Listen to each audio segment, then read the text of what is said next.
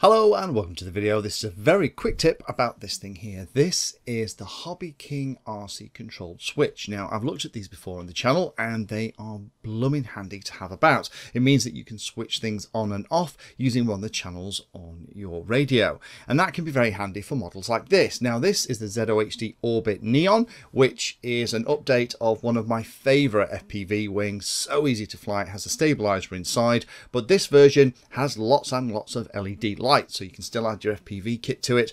There are interchangeable snap-on fronts to it that means you can put your FPV camera in there. I converted my original one of these that doesn't have the LED lights on with an F35 base flight controller. So that has iNav in it. But this one is more for line of sight flying. But one of the things I do want to be able to do is turn the lights on and off. And that's where the Turnigy switch comes in. So I thought I'd very quickly show you how I'm going to install it into this model so that at the flick of a switch on the radio, I can turn it on and off. And then if you have a model where you'd like to do something similar, you know that it's possible and how to do it. Now the way to think of this RC control switch is it is just like a, a um, regular everyday two position switch. So if you wanted to be able to turn on the LED light, then you'd cut the positive wire and then you'd solder each side of that positive wire to a little rocker switch. And then by flicking that switch on and off, it would connect the LEDs to the battery and they would light. And that's all that this is doing. There's nothing particularly complicated about it. But that means it's really, really versatile. It's small and lightweight, relatively inexpensive. I always like to have a couple of these in the box because you never know what you're going to need them for.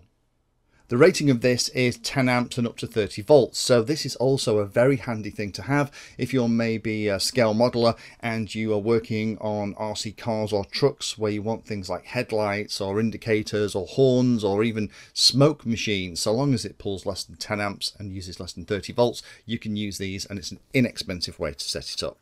So what I did with mine is I wanted to make this super neat to go inside the plane. So I got myself a couple of JST connectors because that's what is already in the model. So rather than cut any cables, I can just put this in the middle. So then I took the shrink wrap off it. I soldered the JST connectors on like this. It doesn't matter which way round is the input and output. All it's going to do is connect the two outputs together, which is great.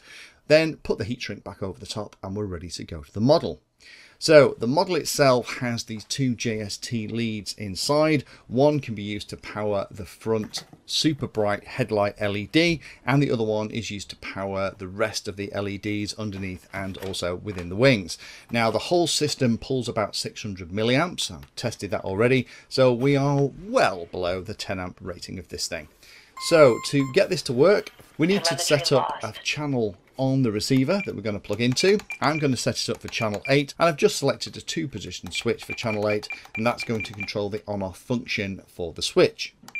Next job then is to just unplug the JST connector from the battery connector to the lights in the main body and then to plug in this RC switch from Hobby King.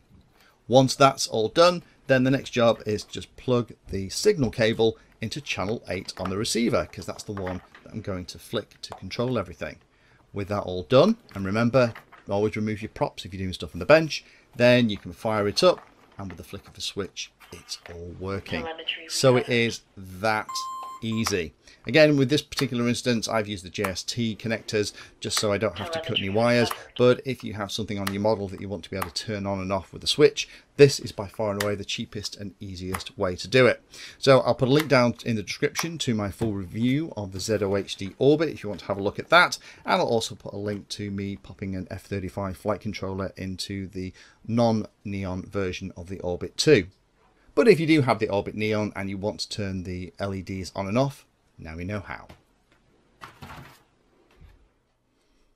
Thanks for watching the video and watching right to the very end. You can find me in all the usual places on social media and if you like the video and like what I'm doing here then hit the subscribe button and hit the bell notification icon too. If you really like what I'm doing you can go the extra mile and become one of my Patreons for access to me directly for support and also giveaways and regular updates too. If you're looking for particular content, then check out the playlist. I organize all of my videos into playlists, so if you're looking for a particular topic, you can find everything here. If it's called Introduction to, it's designed to start very simply and build on that simple introduction to teach you all about it. If it's called For Beginners, then that is really aimed at people who are brand new to that part of the hobby. You can also search on YouTube for anything that you're interested in using the search function at the top. So iNav Painless 360 will find all of my videos and even the playlist around iNav. So thanks again for watching and happy flying.